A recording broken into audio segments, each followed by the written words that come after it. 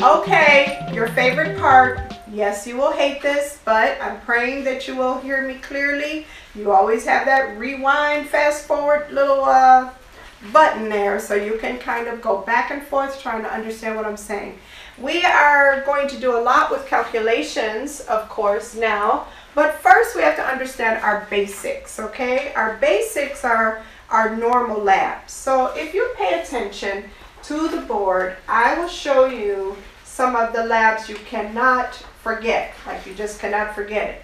Also, there's a page in your packet called Rome, and we're going to talk about that. So let's go on up here and see what we've got here. I generally have a very easy way of teaching the labs, okay? But you've got to pay attention. So the pH, you came in here from kindergarten knowing that it was 7.35 to 7.45. Of course, the more we are over here, we are acidotic. The more we are over there, we are alkalotic, right? So you know that. This is not hard. Now, we have to finally get you to understand the rest of the labs. If you look at CO2, and these must stay exactly like I wrote them. pH is always first, CO2 is always second. It is the same exact thing without the 7. So if you consider that pH is 7.35 to 7.45, then CO2 is 35 to 45. Drop the 7 and the decimal point, you got the same exact numbers. This is not hard. Okay? Bicarb is a little different, and I have a trick for that. Bicarb is 25. But you have to remember right here, I put a minus sign and a plus sign. Minus what? 3 plus what? 3. So 25 plus 3 is 28. 25 minus 3 is 22. The range for bicarb is 22 to 28, but it sounds a lot more fun to say Bicarb is 25, CO2 35 to 45, pH 7.35, 7.45. 25, 35, 45, 7.35, 7.45. 25, 35, 45, 7.35, 7.45. You got this. You just, you got to rhyme it, okay? Now, so we have our three labs that matter.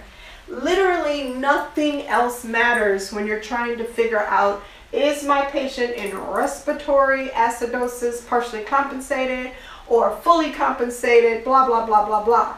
Now, so stay with me. Remember the rule.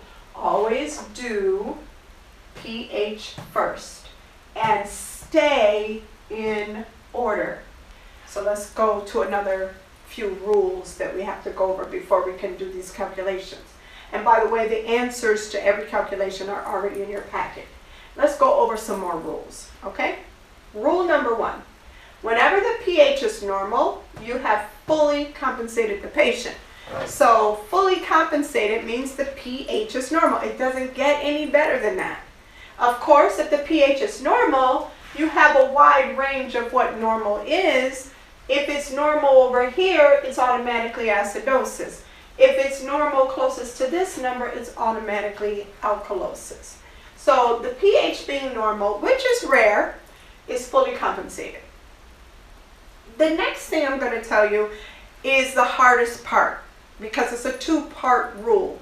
And all you ever really hear is the first part. I need you to know it's a two-part rule.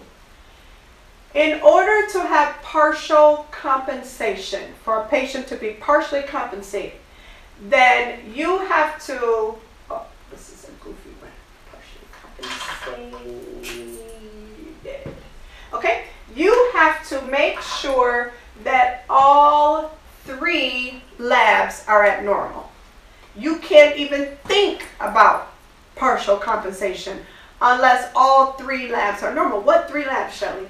pH, CO2, bicarb. All three must be completely abnormal for you to even think about it. Now, it doesn't mean you definitely have it. That's the part you always forget. If all three labs are abnormal, you have another step. You have to analyze whether or not the CO2 and the bicarb are moving in the same direction. Are they both high or are they both low? If one or the other exists, doesn't matter which one of these is true, then you have partially compensated patient. Okay, now, so we're going to do the first problem and we're going to be extremely methodical. We're going to remember Rome.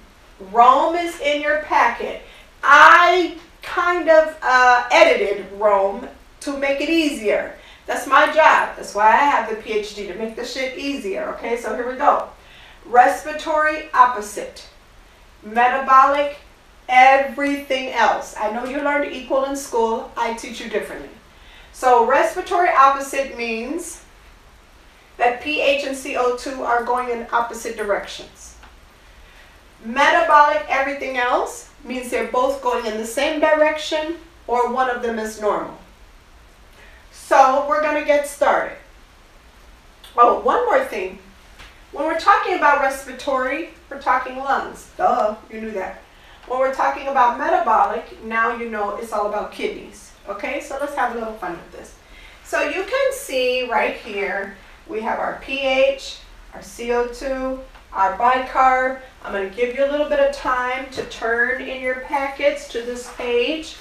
Certainly this page is the very, very first calculation page. Okay, so if you just go to a page with the lines on the packet, I wrote down these labs. I wrote down these calculations right from your packet. I did problem number one and problem number two. The lines are critical that you write exactly what I write or else you're going to get lost. I know some of you learned some crazy tic-tac-toe. I don't do that shit. This is so quick and easy that when you're taking a test and you need to be chop chop, let's go, let's get these, you know, answers quickly. This is so quick, okay? Now, you will completely mess this up if you don't do it exactly the way we do it because we get you to write it down the whole time. Everything I'm saying, you gotta write it down. You gotta like, you know, do it exactly like we do it. So let's let's be methodical about this. Keep everything in order. Your very first step in this calculation, every single time you do one of these calculations, is to look at the pH and say to yourself, is this low or is it high? Well, it's 7.31. 7.35 is normal. We can call this low. You literally have to write low. Stay with your girl. It's elementary, maybe even preschool. Don't matter. Stay with me. Once you wrote the low in the little blank here, you say, okay, now I've got to name it and claim it. Naming it makes it acid because it's over here less than 7.35. So now you write acidosis right in the little block. Okay? Now the next step is to evaluate the carbon dioxide. Remember, don't worry about this PA. When you know you see a little bitty A like that with a lab, it means that blood was drawn. So PaCO2, all you care about is CO2. It is actually 30 5. Oh, so we go up to our labs and see where that fits in. And actually, 35 is within normal limits. Now let me say something to you because you're going to get goofy here. Go back to first grade. Okay, fine. Maybe second grade for some of you. What is the opposite of low? High. Is that what you wrote here? No. So we do not have a respiratory opposite scenario. If you had written this word as high, then these two words would be opposites. You would have an opposite scenario. You could call this respiratory. You don't. Since you don't, everything else is metabolic. So when we look here and we say, okay, the CO2 is 35, that's normal. It's not high, which is the opposite of low. Now if we name it and claim it, since they're not opposites, they're everything else or metabolic, we can name it and claim it as metabolic. Now, we may actually be completely finished with this problem, which is why this is a lot easier than all the other crap that you see done um, on some of these calculation workbooks. We might be done. Boy, wouldn't that be nice? But we have another question to ask. The question to ask is, Were those two labs that I just looked at abnormal? Were both of them abnormal? The answer is no. If it was abnormal, I'd have to go to this step. I don't need it at all. I don't really give a crap what bicarb is because one of my labs was normal. Remember the rule. All three had to be abnormal for you to have partially compensated anything. So we know that the pH was not normal, it was low, so we don't have full compensation. We know that the CO2 was normal, so we don't have three abnormal labs, so we do not have partial compensation. In fact, what we have is uncompensated metabolic acidosis. Now, just in case I've been smoking or drinking, I'm going to show you exactly where that is on this handout. If you look at the handout where your calculations are, and you can see the calculation is 7.313520 and it says this is respiratory metabolic blah blah blah blah blah. Here's the answer. Uncompensated metabolic acidosis. Boom. Read it from the bottom up. Uncompensated metabolic acidosis. Okay? Now, let's do the next one. And again, you have to follow this step-by-step -step process. So, stay with your girl. What was the first step? Well, hell, the first step was to look at the pH and ask yourself, is it low or is it high? Well, it's 7.29, so it's over here. So it is low. The second step is to name it and claim it. If we name it and we claim it, then we're dealing with a patient that has acidosis because we're over here on this side and there we go, acidosis. Okay, so we have a pH that's low, we have acidosis, we've finished with that, now we need to move on to the CO2. The CO2 is 24. Then we have to ask, is it high or low? And the CO2 being 24 is actually low. Now we have to say, well, what about these two answers? Once you write this one, you got to look up and see what it relates to in this one. So if you look at those two words, they're both the same. Are they opposites? No, they are both the same. You didn't write low here and turn around and write high here.